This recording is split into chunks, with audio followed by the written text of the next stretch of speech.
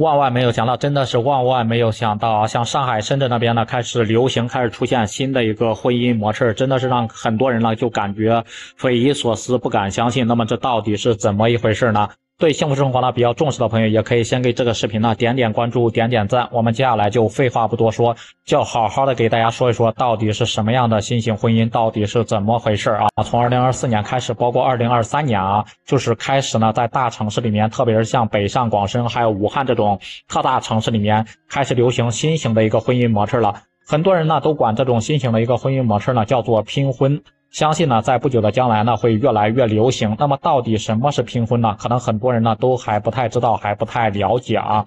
就是大家都知道嘛，就是我们现在的一个社会，结婚呢，包括婚姻这个事儿，可以说真的是越来越复杂，越来越麻烦了啊。像我们农村里面，大家应该回家过年都看到了吧？农村里面那个相亲是，呃，相亲市场竞争是越来越激烈，真的是结婚可以说是越来越复杂。然后农村里面的光棍也是越来越多嘛，就是很多找不到老婆嘛。你像湖北这边三十岁、四十岁那种适婚的男青年，我们村呢就是那种男青年二十五到三十岁的将近有四五十个啊。然后呢，个个都是幺八零的一个大个子嘛，然后浓眉大眼，就是找不到对象。然后父母真的是愁白了头啊，天天的相亲被各种女的给 pass 掉。但是在城市里面呢，又有一个特别奇怪的一个现象。就是越来越多的大龄剩女啊，真的是泛滥成灾啊！你像上海的大龄剩女已经突破了一百万，武汉这边的大龄剩女也是八九十万啊！基本上在相亲公园里面，那个相亲墙上面摆的拉的资料，全部都是大龄剩女，全部都是女生的一个资料。同样的，都是找不到一个的结婚对象。很多你像大城市里面的这种大龄剩女，全部都躺平了。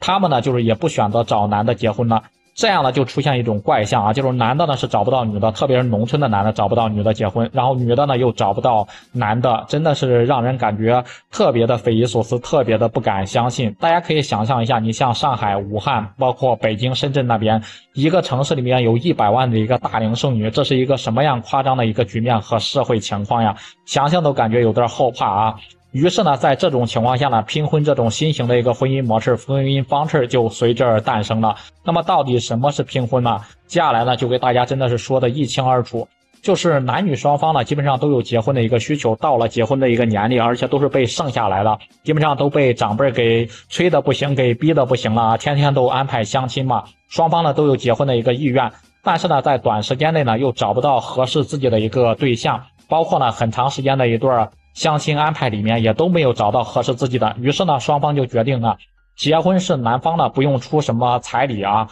一分彩礼都不用出，也不用买车买房，女方呢根本不用陪什么嫁妆。结婚以后呢，两个人呢是各自过各自的一个生活，包括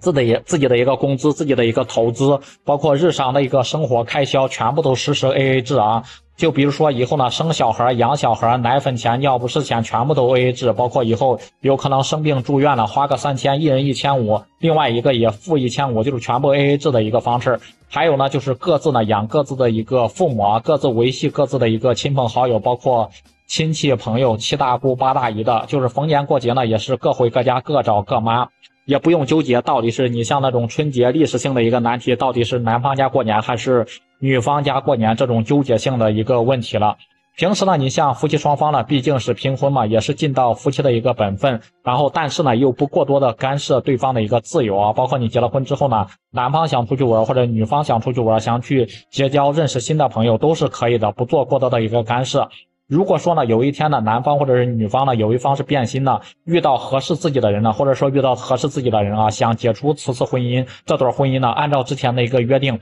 也要顺顺利利的解除此次的一个婚姻啊。包括双方都不应该做过多的一个纠缠，或者是纠缠不休下去啊！我就想问一下屏幕前各位看视频的一个朋友，如果说呢你现在还是一个单身，还找不到对象，还没有结婚，你到底认认可或者是认同不认同这种拼婚的一个形式，这种新型的一个婚姻模式？如果说以后呢在你的城市里面也越来越流行流行开来，而你偏偏又找不到合适的一个结婚对象，你会愿意接受这种新型的一个婚姻拼婚吗？也欢迎在评论区里面留言讨论。反正呢，作为一个八零后，我感觉这种新型的婚姻方式呢，我是有点难以接受啊！真的是感觉呢，时代的变化包括发展实在是太快了。大家对此都怎么看的？